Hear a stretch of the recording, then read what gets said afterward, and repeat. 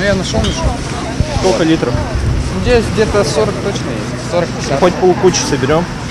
Освобождение от урока математики не освобождает от расчетов на уроки. У Кирилла и Андрея глаз наметан. Для них это уже 22-я чистая акция. За это время Кирилл Волков стал очень педантичным. Даже маленького засохшего листочка на земле не оставляет. Убирает все подчистую. Наш город должен быть чистым. Потому что если мы не будем следить за ним, он превратится в большую помойку, как наша городская свалка. Но в первую очередь эта акция предназначена для общения.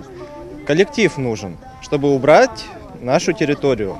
Есть люди такие, которые мусорят, а есть люди, которые этот мусор несут в помойку. Но мы за этими людьми должны убрать. Убрать территорию в 2 гектара собралось больше сотни школьников и их родителей. Участок в 50 квадратов расчистили от листвы буквально за 40 минут и столкнулись с проблемой. У нас еще возникла ну, небольшая проблема. То есть не каждый может принести мешки. И получается так, что у нас не хватает мешков. Нам приходится выкидывать листву и с пустым мешком иногда обратно приходить.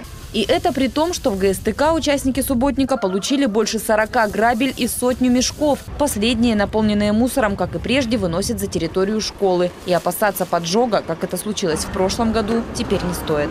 Может быть, конечно, к сожалению, с проезжающих машин что-то выпало в виде горящих окурков. Но был такой случай. Надо отметить работу ГСТК, потому что они оперативно впервые убирают практически сразу вместе с нами все наши ветки, все наши мешки. Поэтому мусора не остается, я надеюсь, не останется на сегодняшний день.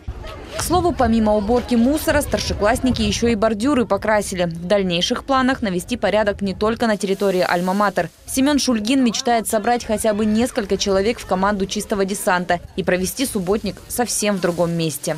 На нашей речке, которая находится за школой, я бы там тоже был с удовольствием убрался, чтобы нам было более приятнее купаться там летом. Там мусор, бутылки стеклянные валяются постоянно. Были случаи, я когда прыгал в воду, у меня, получается, ногу поцарапал. Свою инициативу шестиклассник озвучит в ближайшее время одноклассникам и учителям. Анжелика Павлова, Денис Лугов. Программа «Город».